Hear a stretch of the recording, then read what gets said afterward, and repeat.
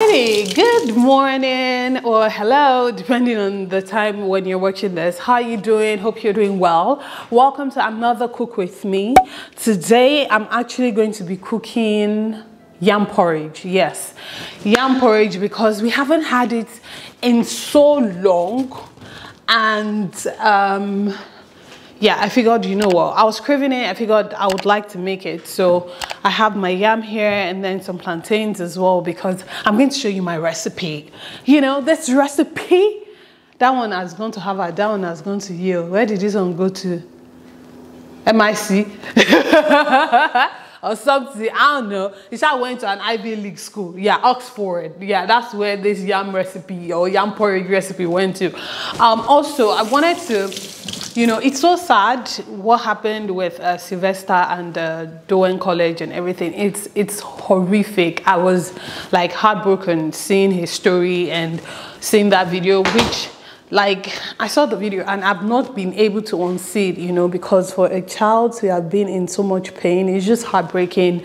And my prayers go to his family, his his sisters, you know, it's just oh those kids involved they have to be held responsible. I heard that they some of them have, have been flown out of nigeria or whatever but like justice needs to get done. Justice and i'm glad the lagos state government is looking into it already.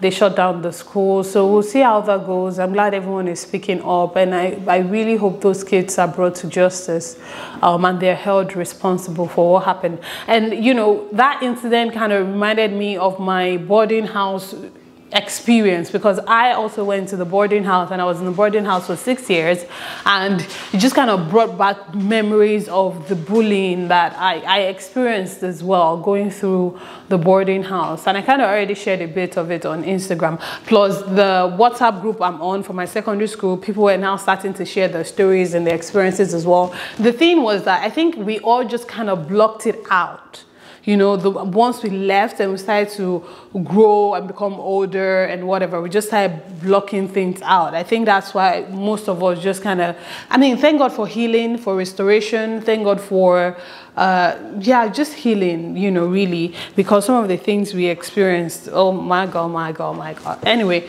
let me get started with the cooking and then I'll share with you some of the experiences that I had um, at the school I went to, which a couple of people know, I went to Federal Girls Akure, Fejicola. Shout out to Fejicola. That was why I attended, I attended Federal Government Girls College Akure. I was there from, what year was it now? 1998 to 2004. That's when I was there. Let me adjust the camera real quick. Let me introduce you. Let's move this.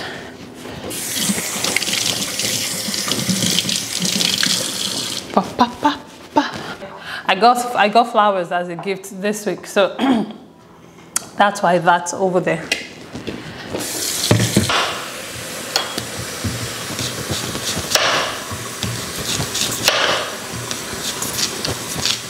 So, um, like I said, I went to Federal Girls and my junior years were horrible, especially between JSS 1 through JSS 3. It was just horrible because the thing about, okay, this was a girls only school, and the thing about it was that the only time you were safe as a junior, by, by safe, I mean, I mean safe from bullying. The only time you were safe was if you had a sister who was a senior, or you had some sort of school mother who was looking out for you or something, you know everyone else was fair game. And you know, it was horrible. Or except maybe you were considered to be very pretty. I know, ridiculous, but at the time, it, it was a thing. You know, you were, you were, if you were considered to be very beautiful, then they didn't pick on you as much and all of that. But every one of us, you know, everyone else was fair game. And I have this memory of it getting so bad when I was in, I don't know, maybe I was in JSS 1 or JSS 2 or so. Like, it got so bad, and I was just like, okay, I'm just done with this. I was in the boarding house, of course, but I was just like, oh no, I'm done with this. I cannot let this go on anymore. And what do I do to take myself out of, out of the situation? I drank, what did I drink? I drank, I drank um, paint Yeah. I drank paint. I ate leaves. Because I was just done, you know. But that didn't work. That didn't work, obviously, because I'm here.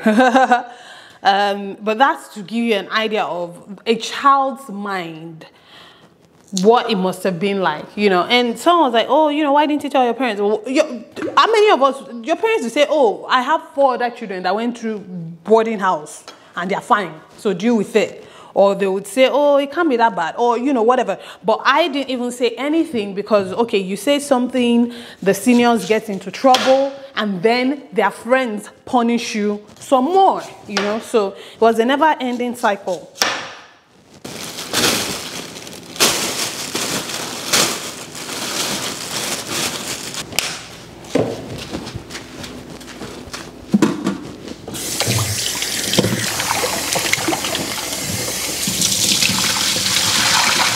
Okay. Okay. So the yam is ready, but I'm going to leave it inside water. I have to leave it inside water whilst I make the sauce because um, it will turn black if you don't leave it inside water. And I don't like it when my yam turns black. So let's go over to the stove. I like to always um, start with the sauce first. I know that a lot of people kind of like use water and whatnot, but I mean, I still add salt, I still add water, but I do the sauce first with my pepper and my palm oil. And this is like blended pepper that I had at home. And I believe I have added a bit of oil to this one, as you can see. So I'm not going to put too much oil in the pot. There was a time when um, I acted as a guardian angel in one drama in school and you know it was such a good drama and everything. And then at night when we got back to the hostel my senior my bunkmates you know back in the days you always had a senior that the junior was responsible for and whatnot. So my bunkmate was like oh you know that should be you. You're a guardian angel. Oh yeah stand here and watch over me through the night whilst she slept, whilst everyone else slept. I had to stand right beside the bed. I, I think it was not until like midnight or ish thereabout when she woke up and she was like, ah, you're still there.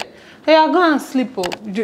Like, it was just Oh, Lord have mercy. You know, memories that you try to forget. I also mentioned, in fact, to on my uh, WhatsApp group, on my secondary school WhatsApp group, when we were all talking, I was like, listen, some of my worst memories actually came from the hand of a fellow classmates who now has kids. You know, I remember she friended me on Facebook at some point, and I was like, she was just such a bully and she was, she was so much of a bully that people, other, other, other classmates of mine were now trying to suck up to her so that she wouldn't bully them. You understand that kind of situation? She would even bully seniors join. She didn't start with us. I think she joined us in our JSS 3, JSS 2 maybe. Um, yeah. Thereabout. I'm going to add a little bit, just a little bit of palm oil to the pot. There we go, just a little. And then I'll add a little of my, let me move your closer. There we go. I'll add a little of my pepper as well. Anytime I say a little, just roll your eyes.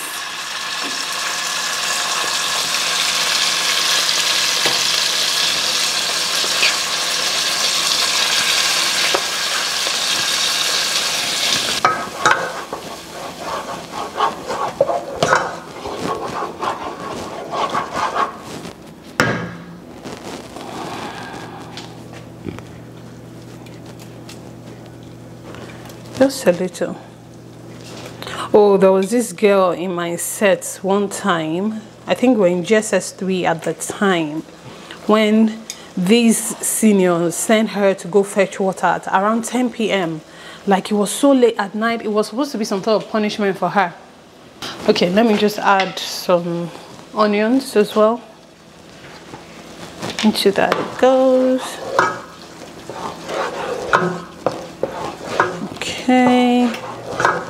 Yeah, it was around 10 p.m. that they sent her, it was late at night, they sent her, oh, they want to have their bath.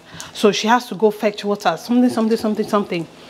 The borehole had closed at the time and we had such ridiculous security at that borehole, like they used to chase us and all of that. But of course, she had to go. That's how this girl went to. I guess when she was there, the security now started chasing her. She now started running, still carrying the buckets of water. As she was running, she fell into a gutter, got injured. Terrible injury. She had to take the rest of the year out of school. When she came back, she was limping till today. Till today, that girl still walks with a limp. Her legs are not balanced. Just because what? She went to school. Just because what? She went to the boarding house just because what? Some seniors wanted to exercise their seniority. And what ended up happening to those seniors they just got expelled now. That's all. What else? They were expelled. And that was it. They called it a day. What if their their their um, parents were so boxed that they were able to fly them out of the country as well and they started over in america and they are living their best lives. Meanwhile that girl to today still works with a limp. Okay. All right, back to our cooking. I've added a little bit of Maggi and a little bit of salt. Now I'm going to add some water. No, actually, before I add my water, I like to put my yam first.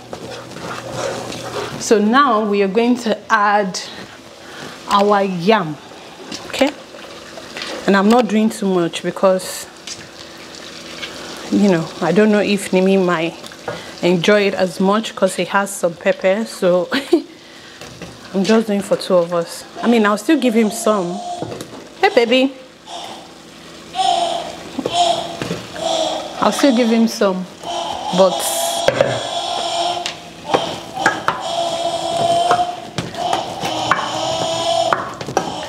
then we mix it all up like so yeah, baby.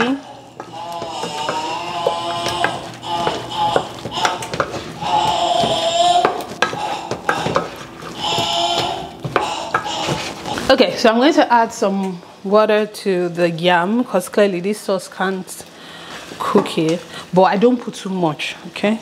Just watch. Because I don't like my porridge to be watery. I mean, I still like it to have a bit of sauce, but not too much. Let me turn up the heat as well. Okay, there we go. Every time I say not too much, just roll your eyes, okay? Because I end up adding a little bit extra. Okay. Yeah, but the point being, the water is always at the same level as the yam. I don't allow the water to go all the way or cover the yam, all right? All right. Since that's done, um, I'm going to cover it and allow it to boil just for a little bit. Um, it's horrific that that should happen. So, so many memories like that. It wasn't until I started becoming a senior, like SS1, you know, it started getting better. And then by SS2, it was a whole bit like really you hardly find SS3 students punishing SS2 students. And of course by the time I became an SS3 student uh, oh punish me? You get. And by then I, um, of, of course I was more matured I was grown and all of that. So it became easier. But would I send my child to a boarding house no, that's not to say that I'm judging the people that do because I know we all live different lives and there are different necessities, there are different reasons why you would send your, like maybe there's a, there's a very good school in a different city that you want your child to go. Of course, if the child goes the child has to stay at the boarding house now, right? So I completely understand that and you know, I'm not trying to shame anybody for no no no no no no i'm just saying personally because because of what my experience was and because i know that at the end of the day you like let me say it's in Yoruba, Ojolojo Dabi Oju Any. Do a lot of things? Like I went to a girls only school, G girls only. Okay, so use your imagination. Let's even forget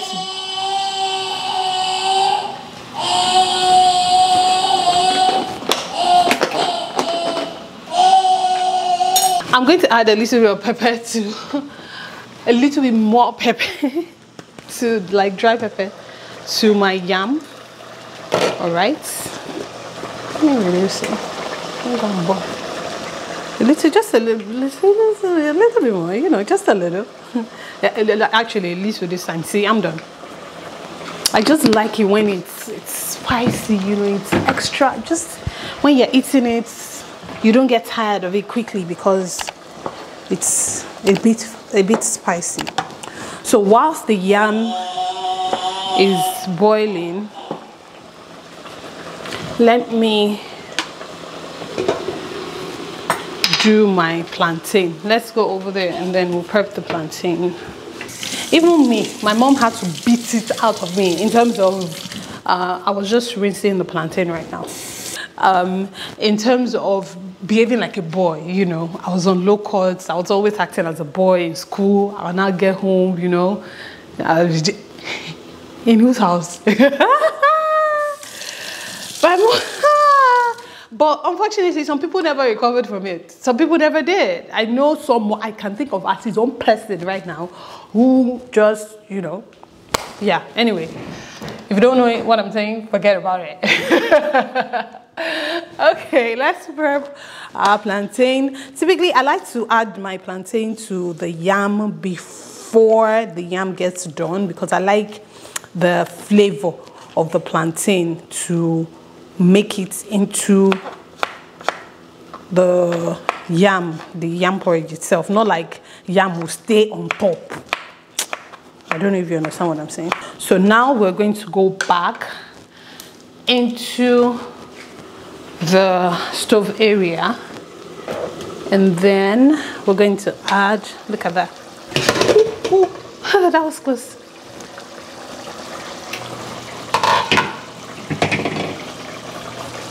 And now we're going to add the plantain to the yam.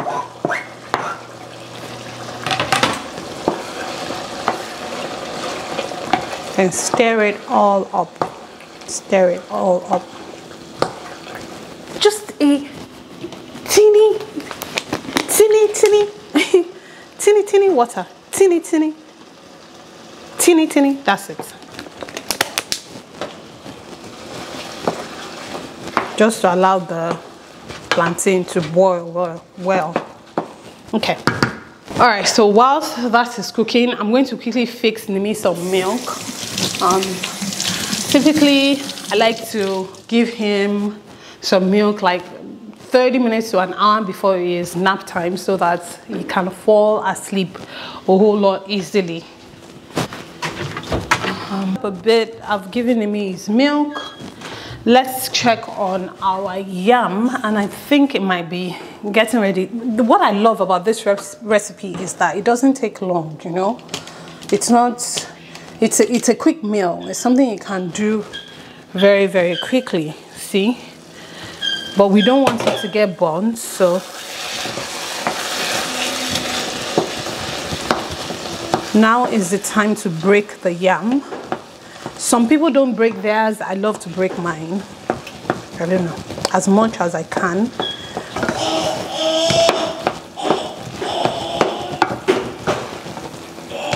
Okay. Oh i like to see crayfish on top of my porridge. And then I'll add some uh, blended crayfish as well. Just for that extra extra taste. Okay? An extra flavor. Now I'm going to mix it all up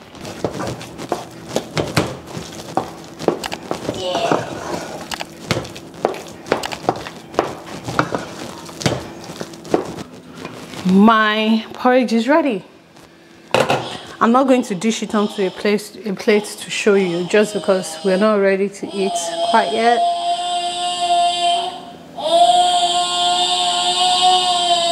But that's my porridge. See what I can see? Um let me move closer. Yeah. I like seeing the onion traces of pepper my crayfish over here as well. I don't know if you can see that all the way on camera but yeah. Absolutely delicious. It might be a bit dry for some people. Ooh, yeah it's spicy. Just just about not too spicy. Might be a bit dry for some people but that's okay. You can always add stew when you want to eat it if you have stew and if you feel like adding stew. Just add a little bit of stew on the side and that solves the dryness problem. But that's how i personally like it. Okay what do you think about the recipe? Also as far as the boarding house experience is concerned i don't even want to begin to share too many stories because i know it will trigger a lot of people and it might start to make them remember things that we've already and it might start to make them remember memories that have been suppressed over the years, you know. Because even though it's been so many years, the thing is that we never forget. Like that girl that bullied me when I was my mates, especially, I don't even remember the seniors' faces or names, but not my mates. I remember her full name. I remember what she looks like. I remember. so whenever I see her on Facebook or whenever like I don't know. I don't know. Whenever it, it, just randomly pops in my mind, I'm just like, Kai, this girl, this girl, you know, try. But, you know, it is what it is. Thank God for seeing us through, for pulling us through, for sustenance, for restoration, for healing as well. Did you go to the boarding house? What was your boarding house experience? Did you go to a boarding house school, but you were a day student? let me know why you were a day student. Someone shared a story with me that she had to tell her dad that she wasn't going back. Her dad said he would throw her into a public um, school or whatever. She said yes, whatever. She doesn't mind that. That's how she stopped that that's how she did not return to that school because she was being bullied. But yeah uh, whatever your experiences are please share with me down in the comment section. Again i pray for that family. I pray that god consoles them you know and that god heals their hearts as well. Thank you so much for watching. I can't wait to see you again very very soon. I pray god blesses you your homes your i've been holding this since. I pray god blesses you your homes your marriages your relationships. Most importantly i pray god blesses you. Remaining god and god bless you Bye.